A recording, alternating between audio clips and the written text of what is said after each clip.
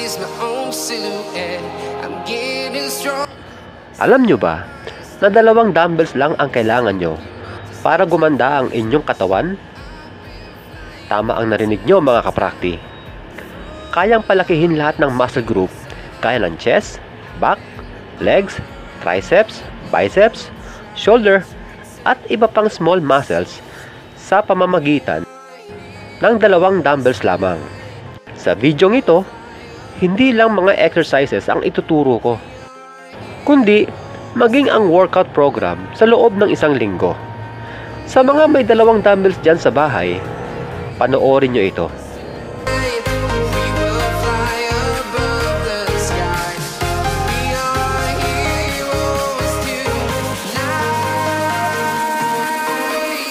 Kung bakit ko isinama dito ang front delts o front shoulder, mamaya ipapaliwanag ko sa inyo. Dito sa day 1, kung ikaw ay medyo baguhan sa pagbubuhat, laging unahin gawin ang chest program dahil ito ay big muscle. At lahat ng exercise na gagawin mo dito ay mga compound exercises. Ang compound exercise mga kaprakti ay magandang gawin lalo na ng mga baguhan dahil maraming muscle group ang tinatamaan nito. Halos lahat ng chest exercise ay nasasapul din ng ating triceps at front delts. Ito ang dahilan bakit isinama ko ang front delts sa day 1.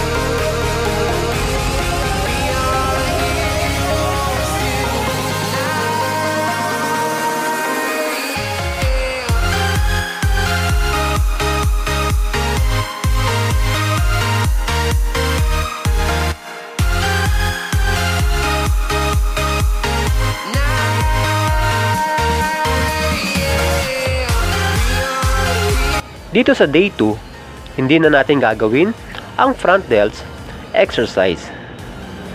Dahil nagawa na natin ito sa day 1. At upang hindi rin ma-overtrain ang ating front shoulder. From town to town, from London to Taiwan. I've been all around the globe trying to. Narito ang mga dapat tandaan sa paggawa ng deadlift. Una, panatilihing malapit o halos nakadikit na ang mga dumbbells sa ating shin o yung alulod ng ating paa kapag ibinababa na ito. Pangalawa, mapapansin na habang ibinababa ko ang weights, umaatras ang aking puwetan. Hindi pababa ha, na gaya ng ginagawa sa squat.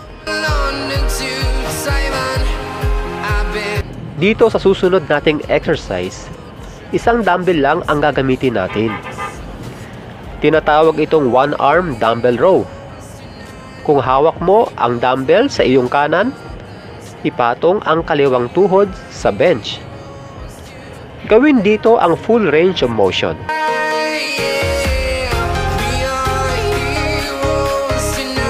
Sa pababang direksyon, i-extend ng bahagya ang kamay. Tiyakin lang na i-extend ito para ma-stretch ang lats, hindi ang shoulder.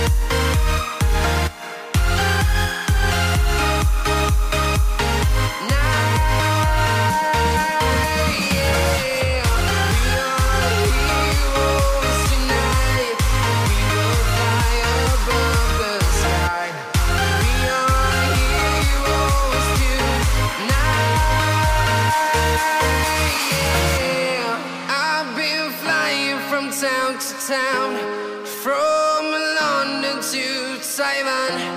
I've been all around the globe trying to protect your soul.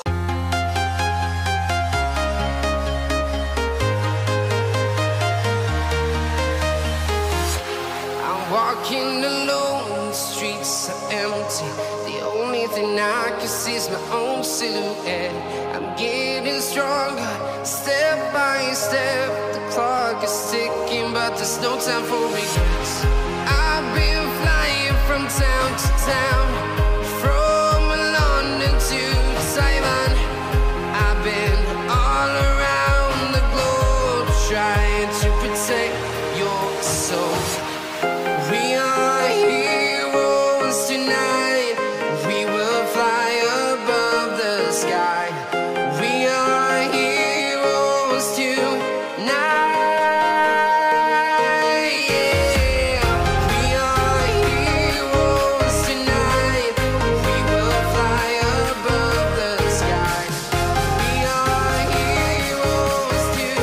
Kung ikaw ay bago pa lamang sa channel na ito, huwag kalimutan mag-subscribe, like, and share upang lalo pang lumago ang channel na ito. Pakiclick mo na rin yung notification bell upang lagi kang updated sa mga videong i-upload ko. At lagi kong sinasabi, ang paglaki ng muscle ay hindi nakukuha sa pagbubuhat lamang. Kailangan mo rin dito ng sapat na tulog at tamang pagkain. O paano? Hanggang sa muli mga kaprakti. God bless! Show.